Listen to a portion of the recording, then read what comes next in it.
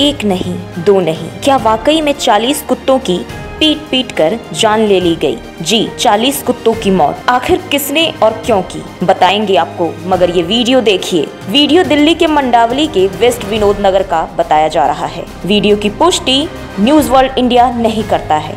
मगर ये वीडियो क्रूरता का सबूत बताया जा रहा है। ये सीसीटीवी फुटेज इंसानों की इंसानियत को शर्मसार करने वाला है। आप देख सकते हैं कि तीन लड़कों के हाथ में लाठी है, डंडा है। इस बीच उनकी नज़र फुटपाथ पर सो रहे कुत्तों पर पड़ती है। तीनों में से सबसे छोटा लड़का कुत्ते के पास पहुँचता है और डंडे से उसे पीटना शुरू कर देता है। वह उसे तब तक पीटता है जब तक कुत्ता दम नहीं तोड़ देता। तो क्या इन बच्चों ने पीट पीट कर चालीस कुत्तों की जान ली है? अब सवाल ये है कि ये ऐसा क्यों करते हैं? और सबसे हैरानी की बात तो यह है कि ये बच्चे रोज़ाना अपने घर वालों को यह कहकर निकलते हैं कि ये खेलने जा रहे हैं। हालाँकि यह खेल बच्चों का नहीं, बल्कि मौत का होता है। वो भी बेघर, बेसहारा और मासूम जानवर की मौत का। आपको बता दें कि पहले भी ऐसे कई मामले सामने आते रहे हैं, जिनमें इंसानों की दरिंदगी बेजुबानों पर सितम बनकर टूटी है। बच्चे ने कुत्ते की जान क्यों ली? अभी तक इसका पता नहीं चल पाया है। और न ही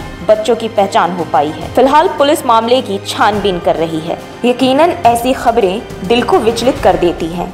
समाज की सोच पर सवाल उठाती है, क्योंकि ये सच है कि बेजुबानों से मोहब्बत कोई गुनाह नहीं है। कई ऐसे भी हैं जो इन्हें अपनी जान से भी ज़्यादा चाहते हैं।